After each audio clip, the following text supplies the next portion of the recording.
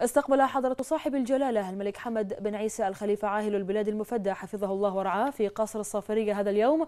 سعادة السيد جيرالد جروز فينر دوق ويستمنستر الذي يزور البلاد حاليا.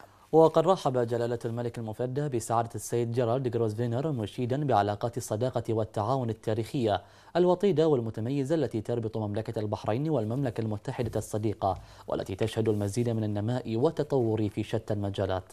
مؤكدا جلالته الحرص المشترك على تعزيز وترسيخ هذه العلاقات العريقة وتطويرها بما يخدم المصالح المشتركة للبلدين ويعود بالخير والمنفعة على الشعبين الصديقين.